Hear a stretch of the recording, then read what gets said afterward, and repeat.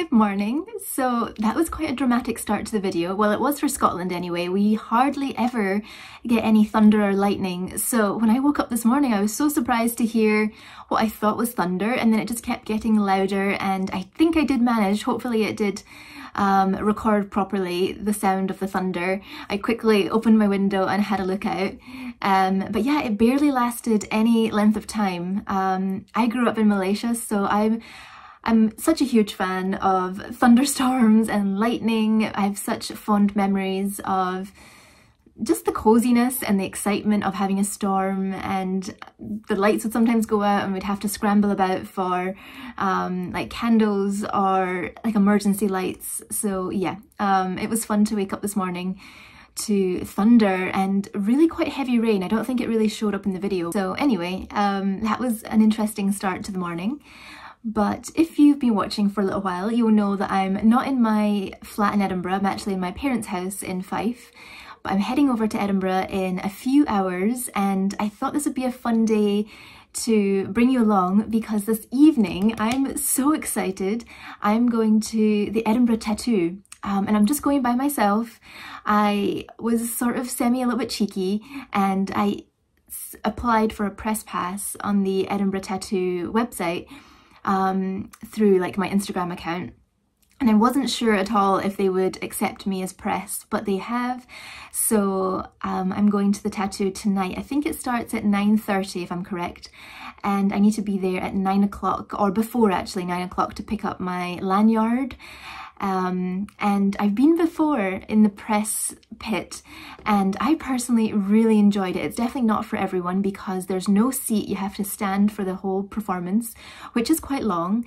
And I think it I think it's quite cold as well. I'm just, now I'm thinking actually I should also pack my, I got those like you, maybe you've seen them in adverts everywhere, those like loop ear plug things. I got them for the Taylor Swift concert and I'm wondering maybe this would be a good day to bring them because it's probably going to be very loud being right next to the performers. Um, or not really performers, like the military bands. Um, but anyway, that was a long way to tell you that I'm so excited to go to the tattoo this evening. I haven't been for pre-COVID. I think the last time I went was maybe 2019. Um, so yeah, so looking forward to it. I've seen stories and Instagram posts from people like friends of mine going and it looks amazing this year. So I think I need to read the um, sort of the rules that they've given me. I think as far as I'm aware, I'm allowed to film up to two minutes of um, the footage from the tattoo. So I'll double check, but I'm pretty sure I can um, film lots of snippets for you. Um, so anyway, yeah, that is my plan for the day. I'm going to spend the first half of the day here in Fife, which I'm not sure I'll film much of, we'll see. And then I'm going to catch the train over to Edinburgh, unpack and see if I've got time to go and buy some food and everything as well, because I've been away um, from Edinburgh for about a week. So yeah, I need to do a little bit of um, food shopping and also just I really hope that my plants are doing okay because we have had a lot of warm weather. Anyway, um, I just wanted to introduce the video and let you know what's been going on. Um, I actually meant to show you the book that I'm reading at the moment and the book that I just finished, but they're downstairs, so I'll show you them later. Um, but yes, I'm just going to start getting ready and get myself packed and everything, and I'll see you very soon.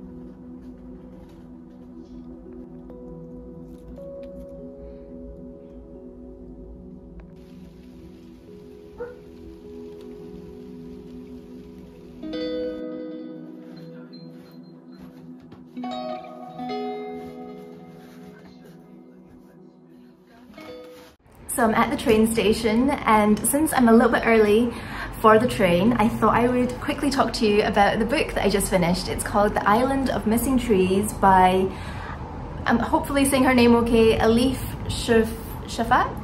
Um, yeah, I found it in the little library in Leith and the reviews on Goodreads were so impressive that I decided to give it a shot and I'm so glad I did. Um, although it did take me quite a few chapters to actually get into the story and I almost didn't finish it.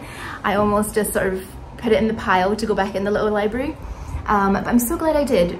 The main reason is because the structure is quite different. It is set in different time periods. It follows various different characters that are all linked and are all sort of family. And also there's one of the main characters, I'm not sure I would say character, but is a fig tree, narrates quite a few chapters and is an integral, plays an integral role in the book. So I wasn't too sure about that at first, but I'm so glad I continued because I really enjoyed it and I don't know whether to give it four or five stars. Um, hopefully you can hear me because there's announcements. Um, but anyway, really enjoyed it. Uh, would recommend if you saw out and about to give it a shot. Um, but yeah, anyway, just waiting for the train. The sun is shining, it's really windy now. Um, hoping the wind dies down before the tattoo later because the castle is already windy.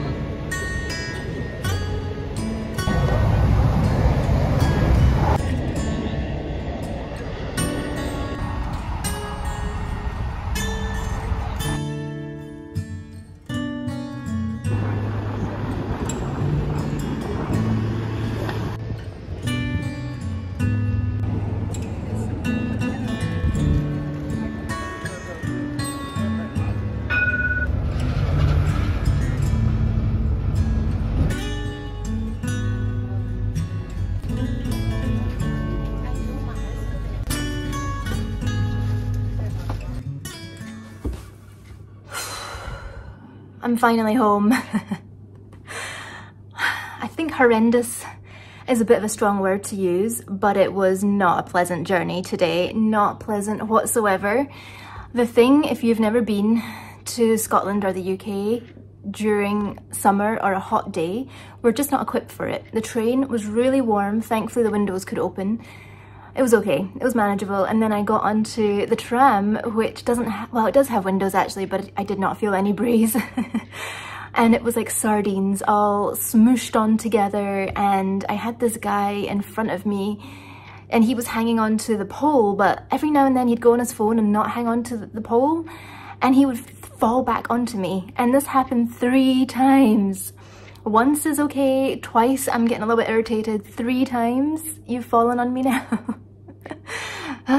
so I am so happy to be back in my flat and I thought, I think I mentioned at the beginning of this video that I was going to go out and do food shopping. I'm not going to do that. I can't be bothered. I can't bear the thought of facing more people, especially since the tattoo is going to be really busy, but that's hopefully going to be nice and um, lots of tourists and looking forward and it'd be a nice atmosphere. Um, whereas the tram, it was just lots of people trying to get home from work, a lot of tourists, and I don't know, there's so many people. Um, so yeah, I have enough food in the house to make something for dinner, so I'm going to do that. And then um, I think I'm going to water my plants because some of them are looking a little bit droopy. My eucalyptus tree just there and I'm going to like change my bed and everything. So that's what I'm going to do instead of going out food shopping because I can't, can't face it. oh, I'm just so happy to be in the house. And the good thing is, it's a good and a bad thing. My flat doesn't get very warm. Even on the hottest day, it would just be kind of nice, nice temperature. So today I came in and it felt like I had air conditioning on. And actually one time on a really hot day, my friend visited and um, she wondered, did I have air conditioning? Definitely not. so yeah, that's a, that's a pro of having an old building. Um, in the winter, it's not as fun. But anyway, I'm actually really hungry too, which is potentially adding to my hangriness. So I'm gonna go make a snack, big cup of tea and unpack all the food because some of it um, should really go in the fridge soon.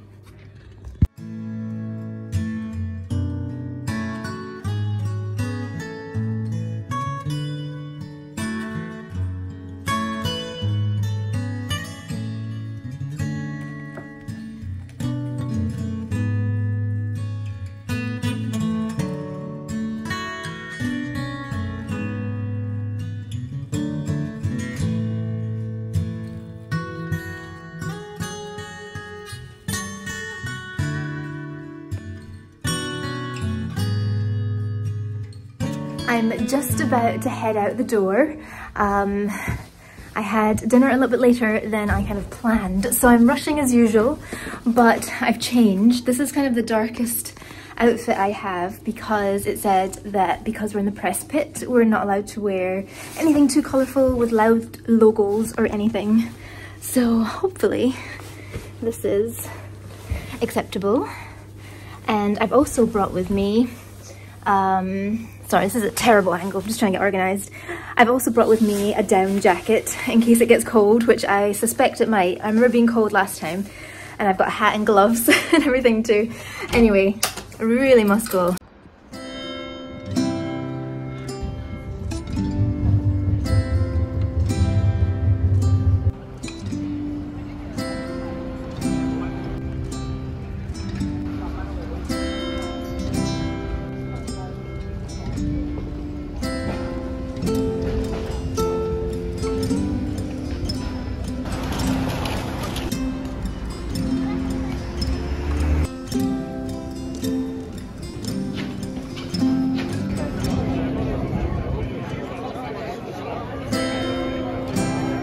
Come down this quiet close, hopefully there's nobody at the end of it, just to update you. I got my press pass and another benefit that I didn't know about being with press is you don't have to queue up to get in. You just show your pass. There's a really long queue forming, um, queuing up to get into the tattoo already and it's only just after 8 o'clock. It doesn't begin till 9.30 so we've got quite a bit of time. I don't really know what to do with myself.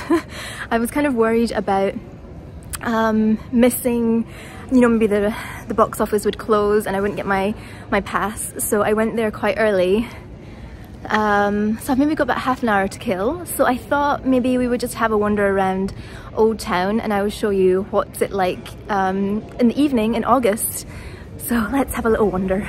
I just wanted to quickly show you this little garden that's just full of pots in this close and if we go that way and just keep continuing we're going to end up at the Writers Museum so let's go there.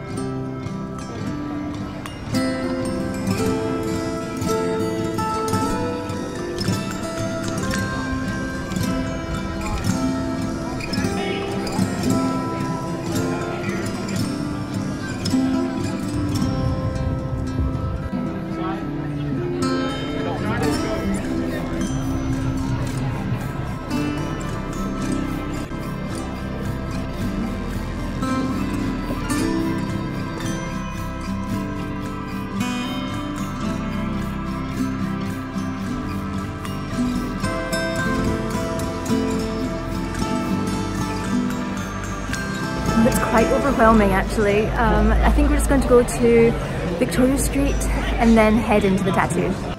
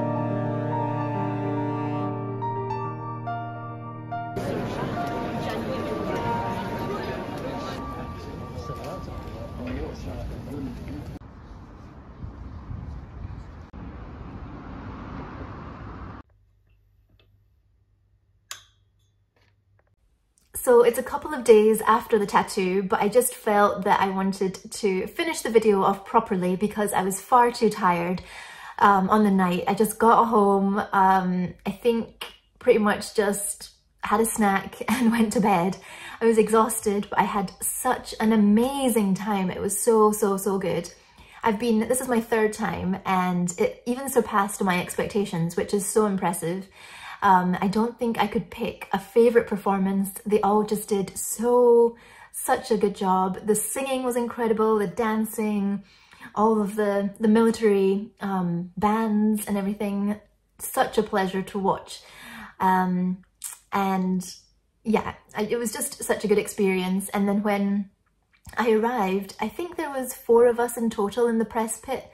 So it wasn't too busy, which was really good. And then someone from the marketing team called Kaz, who was so lovely, had offered us um, at the beginning if we would like to see the final performances and the fireworks from the very top of the sort of structure, um, like all the stalls and the seats. So she sort of tapped us on our shoulder during the final few performances and we climbed up, which I'm not a huge fan of heights, especially when it's something where you can like look down and really see through the cracks because it's a structure that is um, built and then dismantled. So it took me a little while to sort of feel a little bit comfortable um, and then I could film and really enjoy the performances and the fireworks. It was so good.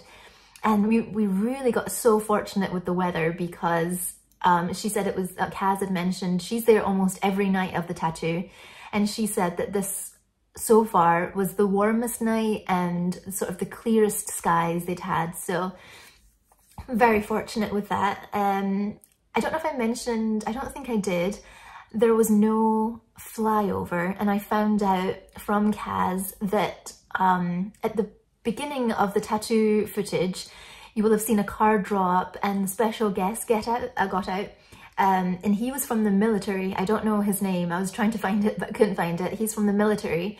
So when the special guest is somebody from the, um, like the, the Air Force, or is it RAF? Yeah.